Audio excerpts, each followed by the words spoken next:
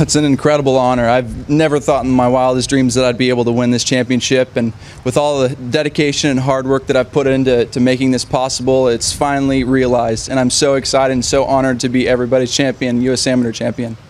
Starting out with the NCAA win and then going and playing in a couple tour events with the big boys out there. It was an incredible experience. And then to top it off with the epitome of amateur golf is pretty incredible.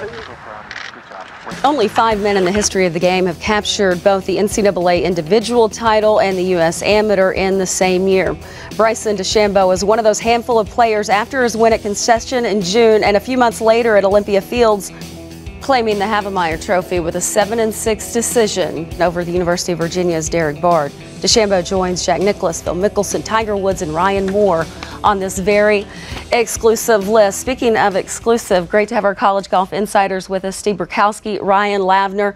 Uh, with everything that's going on in college golf, you have to focus on Bryson and what he did uh, the past spring and summer. Really, one of the best players we've seen in quite some time if you look at titles. Well, you saw the resume of the people he joined with what he accomplished in 2015. That is remarkable, but it goes back to 2012 when Bryson made the commitment to owning his swing, to really approaching it a completely different way. All his irons are the same length. He's a physics major and wants to know everything about everything. And you would think that could get him in trouble. But right now, I think all those years of committing to the new process and his approach, Ryan, when you look at what he accomplished, it certainly has paid dividends the past six months. Absolutely, Burko. And really what stood out to me with Bryson's 2015 was this was the transformation of a player. Don't forget, a couple years ago, this was a player who was just viewed as having a lot of top fives, top three finishes, top 10 finishes. But that victory at the NCAA championship gave him self belief and confidence, knowing that he could beat the best players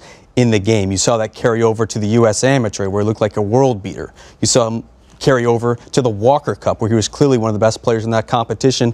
It even carried over to the Australian Masters, a pro event, where he tied for second there. So now, as we move on to 2016, his ceiling as a player has gotten so much higher because he has that confidence in knowing that he can get it done. So that is the good news, but some unfortunate news for DeChambeau and his teammates. In September, the NCAA announced that it had banned the Mustangs from postseason play in 2016, as well as slapping them with scholarship reductions because of multiple violations that involve, quote, recruiting and unethical conduct.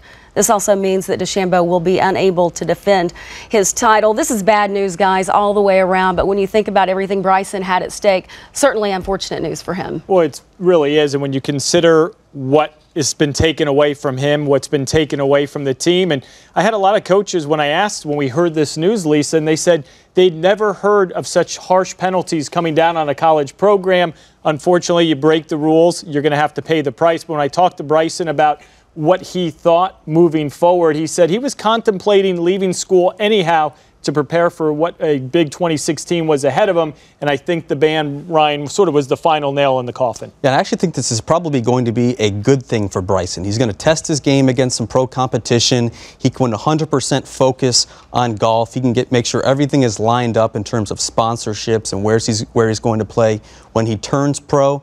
Yes, it's unfortunate, but he's going to put everything he can into the Masters. He's going to be ready for that tournament.